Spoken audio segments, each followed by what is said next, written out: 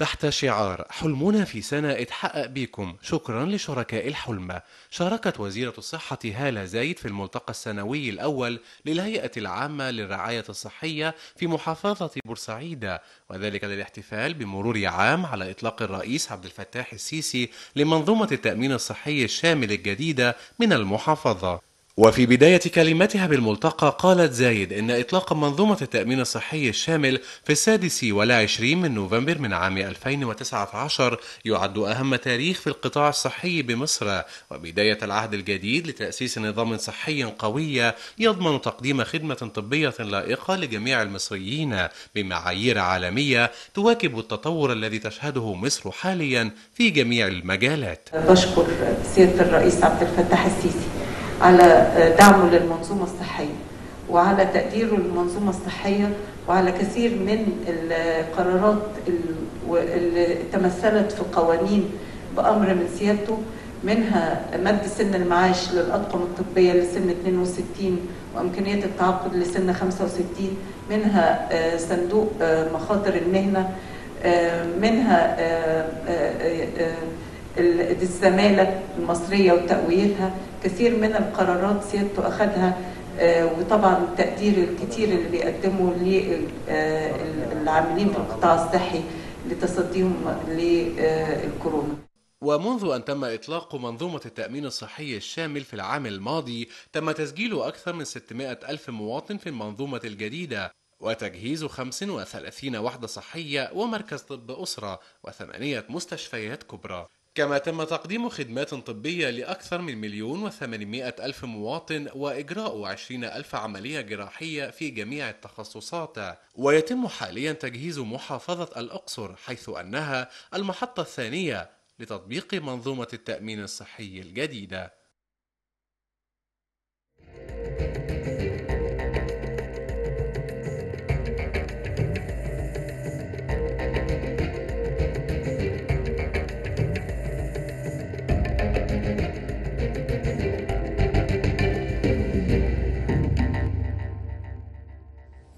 أهلا بحضراتكم. اسمحوا لنا أن نحيي عبر الإنترنت. الدكتورة إنجي السيد غنيم وهي منسق الموارد البشرية بمشروع التأمين الصحي. دكتور إنجي تقبلي التحية ابتداء أهلا وسهلا دكتور بعد مرور سنة إيه اللي اكتشفته الدولة بعد إطلاق هذا المشروع؟ وهل كل التفاصيل اللي كانت بترى الدولة إنها ضرورية أن تطبق في محافظة بورسعيد كنموذج نجحت فيه وما هي الأخطاء اللي رصدتها الدولة من خلال هذا التطبيق النموذجي؟ في البداية أنا بحيي حضرتك وبشكركم على الدعوة إن أنا أنضم معاكم وإن أنا أتكلم عن شغلنا في مشروع التأمين الصحي الشامل.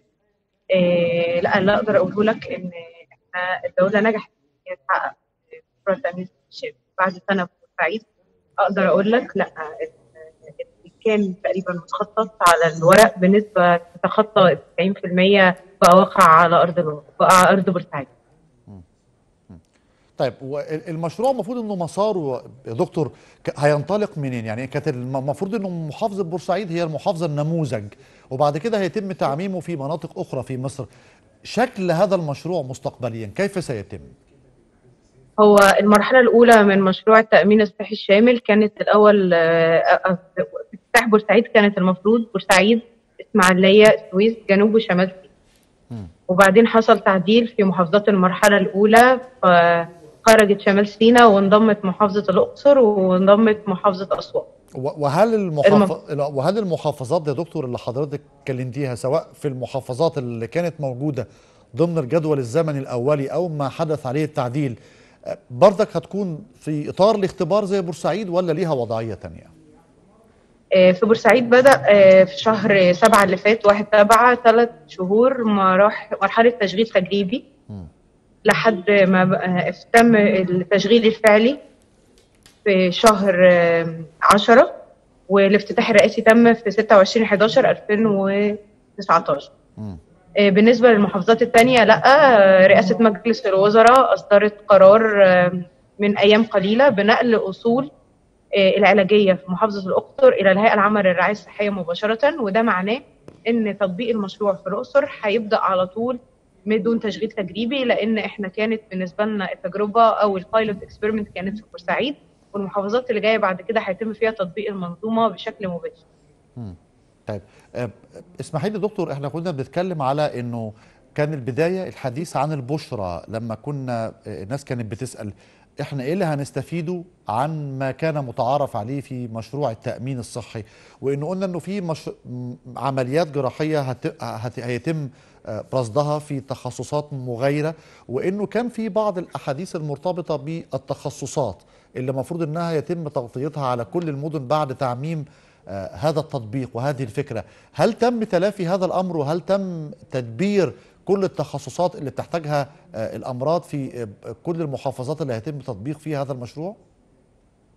آه، بالنسبة لإيه الفرق أو إيه الاستفادة من مشروع التأمين الصحي الشامل أو إيه اللي هيضيفه مشروع التأمين الصحي الشامل على الخدمات الصحية اللي بتتقدم دلوقتي إحنا بننتقل من مرحلة إن إحنا عندنا التأمين الصحي بيغطي بس موظفين الحكومة وطلبة المدارس اللي هم حوالي نسبة تتجاوز الخمسين في المية من المجتمع المصري بقليل إلى إن ننتقل لمرحلة التغطية الصحية الشاملة كل مواطن على أرض مصر هيتمتع بتغطية صحية شاملة وتتكفل الدولة بدفع الاشتراكات عن غير مم. وده معناه إن مفيش مواطن مصري هيبقى في محافظة من المحافظات اللي طبق فيها منظومة التأمين الصحي الشامل هيروح مكان لتلقي الخدمة ومش هيلاقي حد يقدم له الخدمة أو مش هيبقى له حق في إن هو ياخد الخدمة.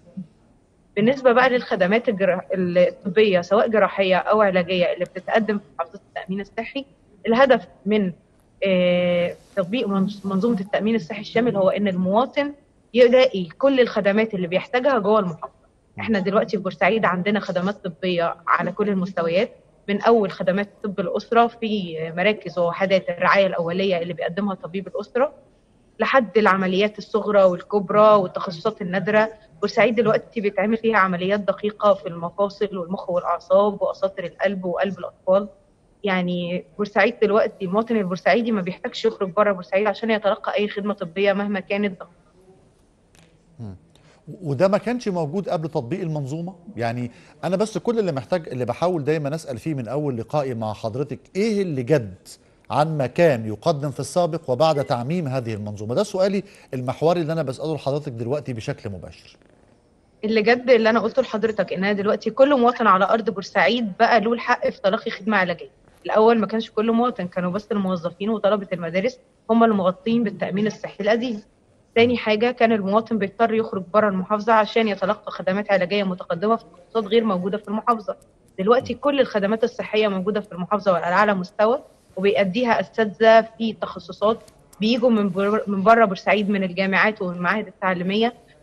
تقريبا المواطن البورسعيدي دلوقتي عنده أعلى كفاءة بتأدي له خدمات وأعلى جودة بيتلقاها في خدمات في مستشفيات ووحدات ومراكز الهيئة العامة للرعايه آه، دلوقتي إحنا كنا بنتكلم على الاشتراكات آه، إنه آه، إحنا كنا بنتكلم إنه هيتم آه، خصم نظير هذه الخدمة من العاملين بالدولة. طيب فيما يتعلق بمن لا يعمل ضمن القطاع الحكومي للدولة المصرية. إزاي هيتم تغ- تغطيته ماليا؟ وهيتم التعامل معاه إزاي؟ وهل آه، الموضوع مش محتاج اشتراك؟ يعني هل في منظومة مالية هترعى هذه الفكرة؟ ولازم أنا أروح أقدم على التأمين الصحي ولا أنا بصفتي مواطن مصري بد- بدخل مباشرة آه، ضمن هذا النظام ال- آه، الصحي؟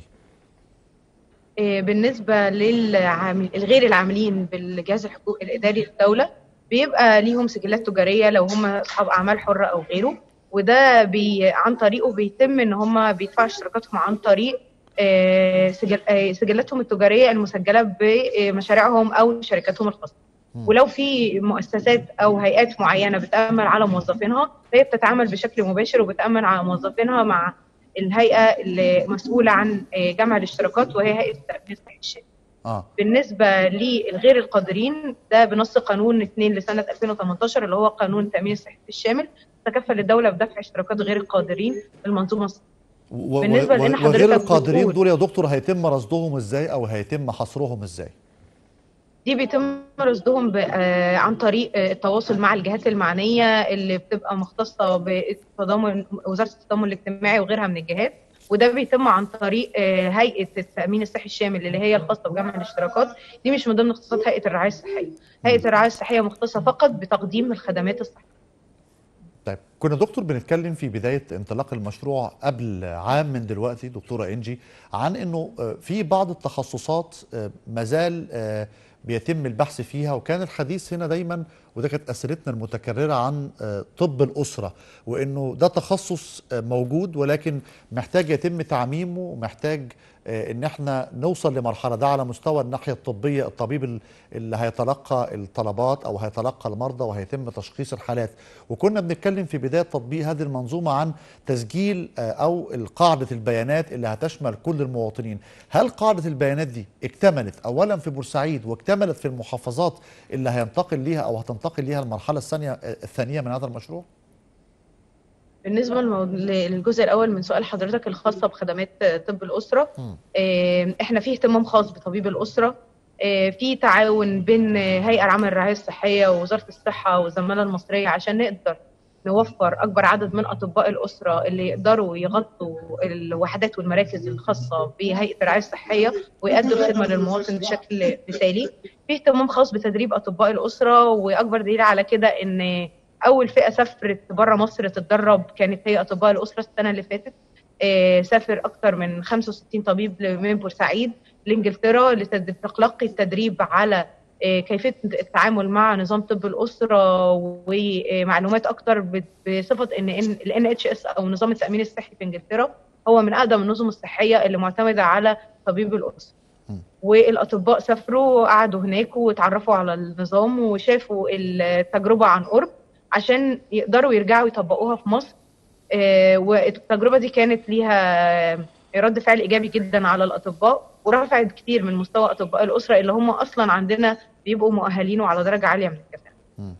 آه، بالنسبة للسؤال الثاني الجزء الثاني من سؤال حضرتك آه، معلش ممكن تفكرني بالسؤال لأن اللي أنا اللي هو دكتور تسجيل البيانات قاعدة البيانات. آه موضوع تسجيل البيانات. تمام.